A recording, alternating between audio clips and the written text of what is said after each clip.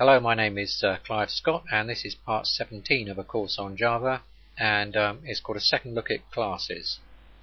And um, I'm covering things like um, access, overriding and hiding and um, quite a few other things. So this is uh, this is this one's quite long.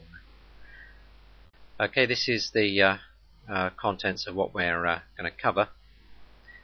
Um, what we're going to do including things like multiple inheritance um, why that's a problem for some languages and uh, how Java avoids that problem.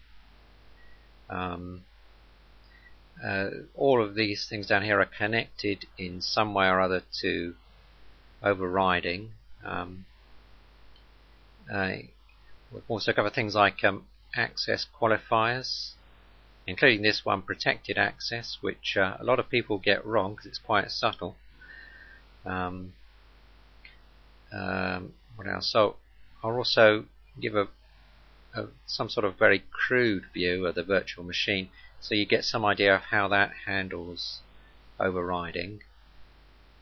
And um, you see implicit interface uh, uh, members. Um, that's something which isn't really covered very well by a lot of books. They don't even mention it, some of them. Um,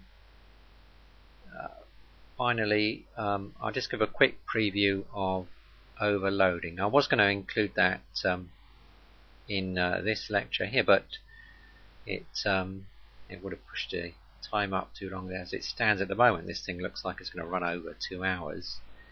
So um, I've just given a quick preview there, and we cover it properly in the next uh, the next lecture. Uh, the first thing to talk about is uh, abstract classes, and um, so the question is, what's an abstract class?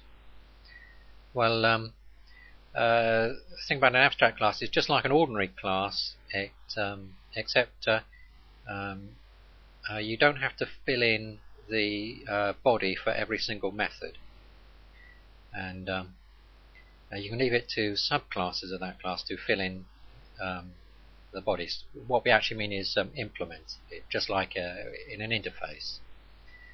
And um, in fact, these are a bit like an interface, except you can have um, uh, real methods in there, perfectly ordinary methods, as well as what's called abstract methods. And uh, that's what an abstract class is. And um, uh, the important thing about an abstract class is that you can't instantiate it. That means you can't do new on it to get a new object from it and um, it has to be marked as abstract by preceding it with um, this keyword abstract. And um, any um, method in the uh, class as well has if it's not got a, a body it has it's got to be preceded with a keyword abstract. Okay so what's it used for? Well um, here's an example. Um, uh, supposing you've got a program for drawing shapes, and um, supposing it can draw um, circles, rectangles, triangles, whatever, you know. And um, if you think about that, um, if you have a class for each type of shape that gets drawn, then um, some of the behavior is going to be common to all types of shape. For example, they're all going to have a, a draw um, method to draw themselves and perhaps a resize as well.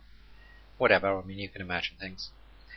And um, some of the state information is going to be common as well to all the shapes. For example, they're, they're all going to have, um, say, um, a colour, uh, the colour in which to draw the shape, and maybe um, something like line thickness and the style of line and that sort of thing. Going to be, they're all, all the classes are going to have that as a, as a, um, um, a field.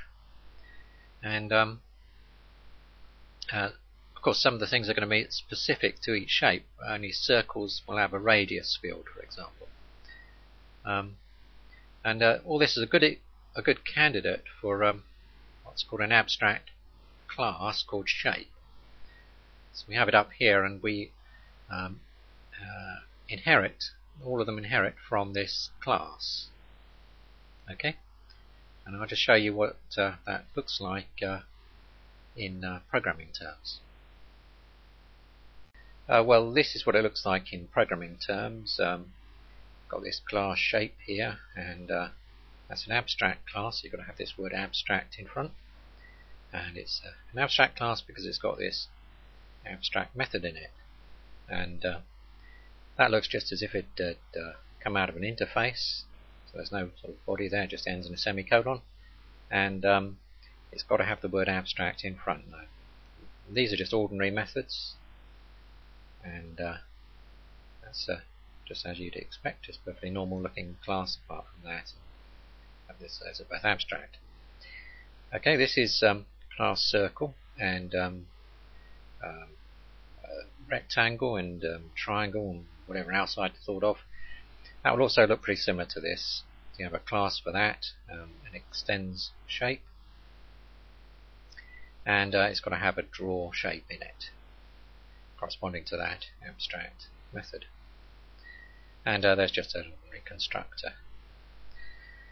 Okay, so that's what they're all going to look like, and um, this is where it uh, starts to pay dividends. Um, uh, shape, of course, is just an ordinary class apart from being abstract, so you can certainly define an array of it. And uh, here I'm putting some stuff into that array, a new circle, new, I don't know, triangle, um, I don't know, use your imagination. And um, here I'm going through the class using the enhance this um, array rather, using the um, enhanced for loop and uh, printing out, drawing each of the shapes in there. And uh, you'll notice that um, I've not had to refer to what class um, that S happens to be. I haven't got to now where have I said is S instance of circle, then draw this or whatever. Um, it uh, works independent of that. And uh, this this um, type of behavior is called polymorphism.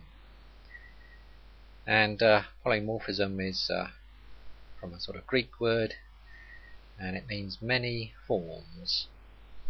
And what this really boils down to is basically um, a method, in this case draw shape, can do different things based on the class of the object. So in this case the class of the object is determined by S, whatever S happens to be. So if S is a circle, it will call this version of draw shape. If it's a triangle or something, it will call the draw shape that's in the class triangle.